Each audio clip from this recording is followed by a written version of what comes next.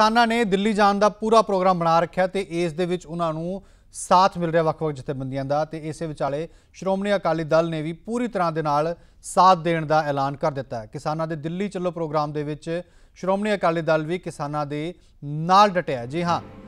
ਸ਼੍ਰੋਮਣੀ ਅਕਾਲੀ ਦਲ ਦੇ ਪ੍ਰਧਾਨ ਸੁਖਬੀਰ ਸਿੰਘ ਬਾਦਲ ਨੇ ਦਿੱਲੀ ਕਮੇਟੀ ਨੂੰ ਕਿਹਾ ਹੈ ਕਿ ਕਿਸਾਨ ਜਥੇਬੰਦੀਆਂ ਦੀ ਹਰ ਸੰਭਵ ਮਦਦ ਕੀਤੀ ਜਾਵੇ। ਦਿੱਲੀ ਕਮੇਟੀ ਪ੍ਰਧਾਨ ਮਨਜਿੰਦਰ ਸਿੰਘ ਸਿਰਸਾ ਅਤੇ ਪਾਰਟੀ ਦੀ ਦਿੱਲੀ ਇਕਾਈ ਦੇ ਪ੍ਰਧਾਨ ਹਰਮੀਤ ਸਿੰਘ ਕਾਲਕਾ ਦੇ ਨਾਲ ਉਹਨਾਂ ਨੇ ਇਸ ਮਸਲੇ ਤੇ ਗੱਲਬਾਤ ਕੀਤੀ ਹੈ। ਉਹਨਾਂ ਨੂੰ ਕਿਹਾ ਕਿ ਲੰਗਰ ਅਤੇ ਹੋਰ ਜ਼ਰੂਰੀ ਵਸਤਾਂ ਦੀ ਕਿਸਾਨਾਂ ਨੂੰ ਸਪਲਾਈ ਕੀਤੀ ਜਾਵੇ। ਦਿੱਲੀ ਕਮੇਟੀ ਅਤੇ ਦਿੱਲੀ ਇਕਾਈ ਦੇ ਵੱਲੋਂ ਸੁਖਬੀਰ ਸਿੰਘ ਬਾਦਲ ਦੇ ਵੱਲੋਂ ਦਿੱਲੀ ਦੇ ਆਪਣੀ ਪਾਰਟੀ ਦੀ ਇਕਾਈ ਨੂੰ ਕਹਿ ਦਿੱਤਾ ਗਿਆ। ਅਕਾਲੀ ਦਲ ਦੀ ਦਿੱਲੀ ਇਕਾਈ ਅਤੇ ਦਿੱਲੀ ਗੁਰਦੁਆਰਾ ਪ੍ਰਬੰਧਕ ਕਮੇਟੀ ਕਿਸਾਨਾਂ ਦੀ ਪੁਰਜ਼ੋਰ ਹਿਮਾਇਤ ਕਰੇ, ਇਹ ਉਹਨਾਂ ਨੇ ਦੋਵਾਂ ਨੂੰ ਕਹਿ ਦਿੱਤਾ ਹੈ। ਪ੍ਰਧਾਨ ਮੰਤਰੀ ਨਰਿੰਦਰ ਮੋਦੀ ਨੂੰ ਵੀ ਕਿਸਾਨਾਂ ਦੀਆਂ ਸ਼ਿਕਾਇਤਾਂ ਛੇਤੀ ਹੱਲ ਕਰਕੇ ਨਵੇਂ ਕਾਨੂੰਨ ਤੁਰੰਤ ਰੱਦ ਕਰਨ ਦੀ ਅਪੀਲ ਉਹਨਾਂ ਨੇ ਕੀਤੀ ਹੈ। ਉਹਨਾਂ ਕਿਹਾ ਕਿ ਕਿਸਾਨ ਮਜ਼ਦੂਰਾਂ ਤੇ ਗਰੀਬਾਂ ਦੇ ਸੰਘਰਸ਼ 'ਚ ਵੱਧ ਚੜ ਕੇ ਹਿੱਸਾ ਲੈਣ ਦਾ ਅਕਾਲੀ ਦਲ ਦਾ ਸ਼ਾਨ ਮੱਤਾ ਇਤਿਹਾਸ ਅੱਗੇ ਵੀ ਜਾਰੀ ਰਹੇਗਾ। ਕਿਸਾਨ ਦੇਸ਼ ਦੀ ਲੜਾਈ ਲੜ ਰਹੇ ਨੇ, ਇਸ ਦੇ ਵਿੱਚ ਸ਼੍ਰੋਮਣੀ ਅਕਾਲੀ ਦਲ ਉਹਨਾਂ ਦਾ ਸਾਥ ਦੇਵੇਗਾ।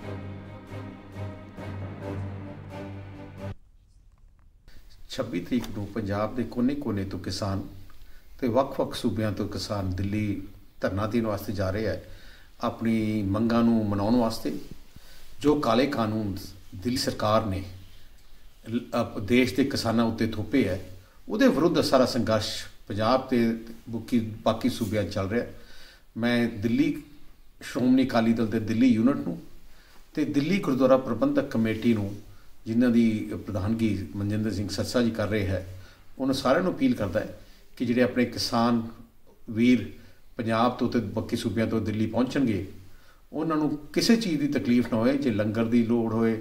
ਜਾਂ ਕੋਈ ਪਾਣੀ ਦੀ ਲੋੜ ਹੋਏ ਜਾਂ ਚਾਹ ਦੀ ਲੋੜ ਹੋਏ ਜਾਂ ਕੋਈ ਵੀ ਲੋੜ ਹੋਏ, ਉਹਦਾ ਹਰ ਕਿਸਮ ਦਾ ਇੰਤਜ਼ਾਮ ਸ਼੍ਰੋਮਣੀ ਅਕਾਲੀ ਦਲ ਦਿੱਲੀ ਤੇ ਆਪਣਾ